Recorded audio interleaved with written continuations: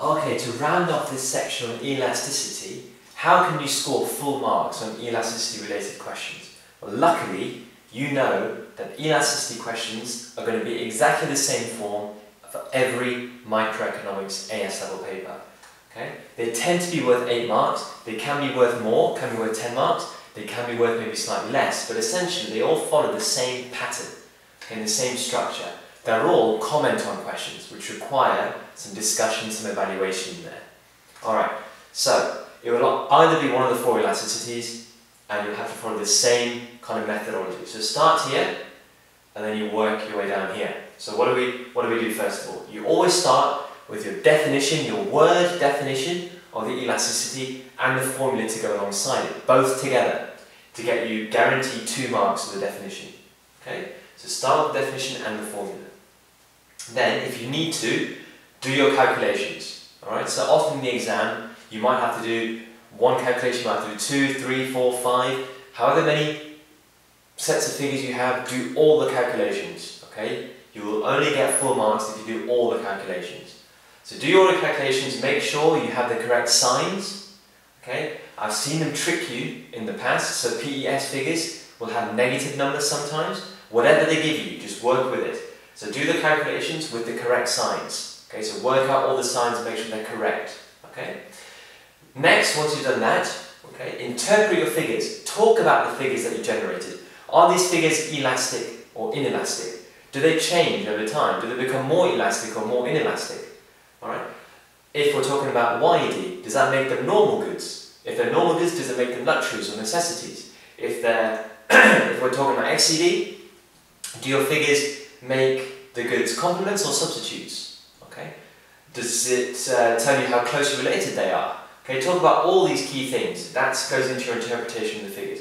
You've just got PED and PES, whether the figures are elastic or inelastic is fine, and then what happens over time. So, uh, from the first figure to the end, is there a little bit of a, a relationship going on there? Okay, but interpret your figures. Then, this is probably the hardest thing on this question. You want to comment on the business relevance. So once you've done these three key things, you've already got more than half marks, probably five out of eight straight away just doing these three basic things. Alright? If it's out of 10, you'll certainly have about six out of 10. Then the comment part of the question restarts. And the first comment you should make is to comment on the business relevance of what you just found out. Now, this is hard for me to talk about because it's going to be very, very specific to the case study you get. Okay? I'll give you a generic example. There was one exam paper where the housing market was being talked about and were, you were given some price elasticity of supply figures for housing in the UK. Alright, and you worked out that over time, I think, supply of housing was becoming more price inelastic. So the relevance of that a business that knows that should think, well, they should find ways to make the, their supply of housing more elastic. Okay? Maybe have stocks of materials that they need. Okay? Maybe use more spare capacity in their firm. They Maybe work on reducing the production lag and building new houses. Okay? Um, whatever it might be. Maybe find factors of production that are easily substitutable. So if that's labour, you know, try and train labour to do lots of different jobs in the house. I don't know what it might be, but that's commenting on the business relevance of that. So the business now needs to find out a way to make the supply of its housing more price elastic. That's a good business comment. Similarly, if you're doing an XED example, you might have found out that the goods, the two goods you, you found are actually complementary. And maybe they're close complements, in which case the business should take care on pricing. Okay, because uh, increasing the price of one product will have a drastic effect on the demand for another product. Okay, and vice versa. So maybe you can talk about the business relevance in that way for income elasticity demand.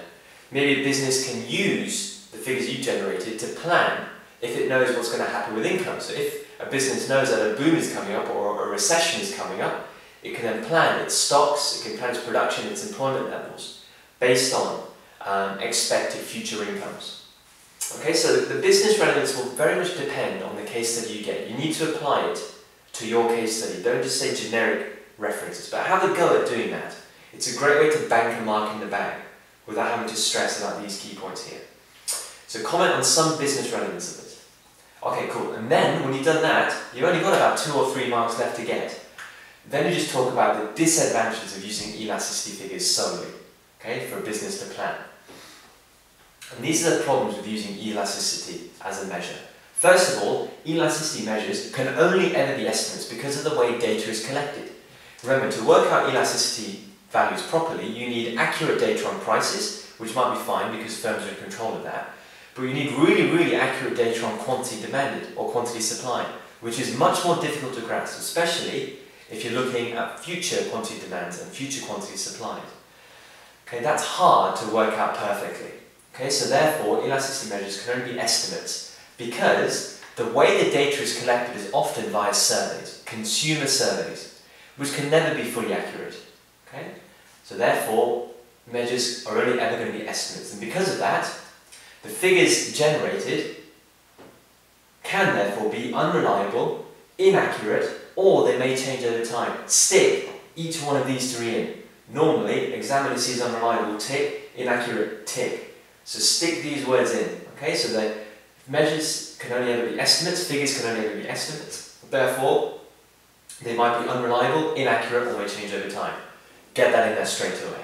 Another problem, data collected might be past data. So another way of collecting data to measure elasticity, maybe you want to um, raise the price of one of your goods. Well, if you know a competitor did a similar thing maybe last year or two years ago, you might analyse that competitor's data Okay, so the quantity demanded of a competitor's good and use that to measure your elasticity. Well, if that's the case, that was past data.